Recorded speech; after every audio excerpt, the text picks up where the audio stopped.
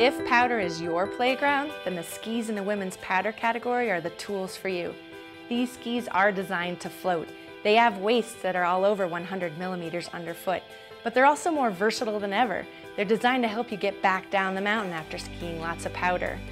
Their construction is lightweight, so they're just as good inbound skiing powder as they are for a day of touring in the backcountry.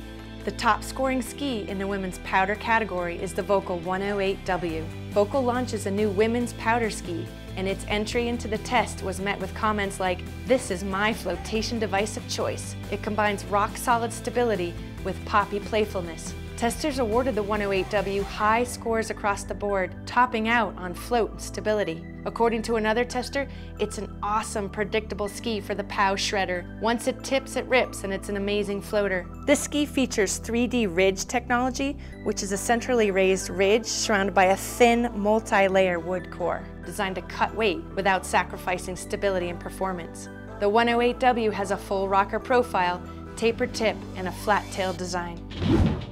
The Blizzard Sheeva is another top scoring ski in the women's powder category. Testers awarded this 104 millimeter waisted ski highest scores for float and stability. The freeride ski has what Blizzard calls light core, made from a blend of poplar, bamboo, and paulownia, plus a layer of titanium around the binding area. Flipcore 3D technology adds tip and tail rocker in the molding process, and the sandwich compound sidewalls have a race lineage. According to one tester, this ski is one of the few powder skis I really wanted to turn on the flatter slopes. For being such a good floater, it's agile edge to edge. Another high scoring ski in the women's powder category is the Line Pandora 110.